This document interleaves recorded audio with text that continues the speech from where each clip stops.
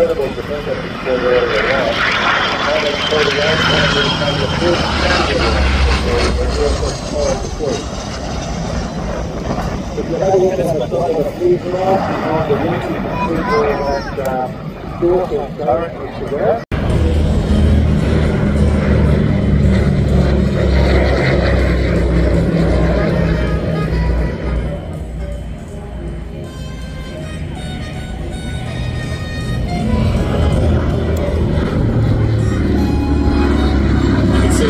second aircraft coming past painted up in ARDU colours. So that's the Aircraft Research and Development Unit based out of Edinburgh in South Australia.